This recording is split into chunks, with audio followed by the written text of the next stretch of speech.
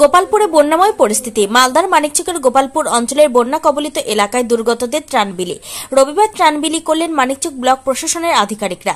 ত্রাণ বিলি পর্বে হাজির ছিলেন গোপালপুর অঞ্চল প্রধান আঞ্জনারা খাতুন। মালদা জেলা যুব তৃণমূল কংগ্রেসের সভাপতি বিশ্বজিৎ মণ্ডল, মানিকচক পঞ্চায়েত সমিতির সদস্য মোহাম্মদ আসিরুদ্দিন মানিকচক পঞ্চায়েত সমিতির শিক্ষা কর্মাধ্যক্ষ মোহাম্মদ সাকির উদ্দিন, উপপ্রধানের প্রতিনিধি মতিউর রহমান সহ অনেকেই। কামাললতিপুর এলাকার প্রায় তিনশো জন ভাঙন কবলিতদের ত্রাণ সামগ্রী হিসেবে ত্রিপল দেওয়া হয়। পরবর্তীতে ভাঙন কবলিত এলাকায় যাদের যাদের সমস্যা রয়েছে তা দ্রুত নিষ্পত্তি আশ্বাস দেওয়া হয়। এই ত্রাণবিলিতে উপস্থিত হয়ে কি বললেন জেলা যুব তৃণমূল সভাপতি বিশ্বজিৎ মণ্ডল শুনুন তার মুখ থেকেই।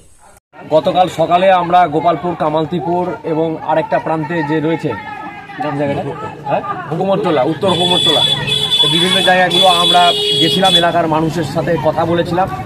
বিভিন্ন রকম সমস্যাও গুলো উঠে এসেছিল সেই সমস্ত কথাগুলো আমরা ব্লক ব্লক আধিকারিক বিডিও সাহেবদেরকে আমরা সমস্ত বিষয়গুলো জানিয়েছিলাম এবং জেলার সমস্ত স্তরের আধিকারিকদের সাথে আমরা সমস্ত বন্যা পরিস্থিতি নিয়ে মানিকচক সংলগ্ন যেই প্রান্তগুলোতে বন্যা বন্যাতে ক্ষতিগ্রস্ত হচ্ছে সে সমস্ত বিষয়গুলো নিয়ে আমাদের ডিএম সাহেব থেকে শুরু করে ইরিগেশন বিভাগে আমাদের বিডিও সাহেব সমস্ত স্তরে আমরা আমাদের আহ, নেতৃত্বদের সাথেও আমরা বিভিন্ন বিষয়গুলো নিয়ে আলোচনা করেছি। এবং গতকালের আমরা এলাকার মানুষের যে একটা দাবি দাওয়া ছিল বা প্রয়োজনীয়তা ছিল, সেই বিষয়গুলো নিয়ে আলোচনা করেছিলাম এবং মানে সঙ্গে সঙ্গেই আমাদের মানিকচক বিডিও সাহেব সেই সমস্ত সমস্যাগুলোর সমাধান করেছেন। এখানে জলের সমস্যা ছিল, সেই জলটা পৌঁছে দেওয়া হয়েছে এবং ত্রাণের কারণ মানুষ বাড়ি সরিয়ে একটা অন্য জায়গায় অবস্থিত হচ্ছে। তাদের এখন যেই ত্রাণের জিনিসপত্রগুলো সামগ্রীগুলোর প্রয়োজন, সেই, সেইগুলোও আজকে আমরা এখান থেকে দেওয়া হচ্ছে। মোটামুটি এই কঠিন পরিস্থিতির মধ্য দিয়ে পশ্চিমবঙ্গ সরকার, মুখ্যমন্ত্রী মমতা বন্দ্যোপাধ্যায়, সর্বস্তরের মানুষের পাশে আমরা চিরকালই দেখে এসেছিলাম যে ছিল, ঠিক তেমনভাবে আজকে আমরা মানুষের পাশে রয়েছি। যেটা মানে আমাদের বলার বিষয়, প্রতি বছরই এই প্রাকৃতিক দুর্যোগ বা এই যে ভাঙন, এটা আমাদের মালদা জেলায় বিভিন্ন প্রান্তে হচ্ছে।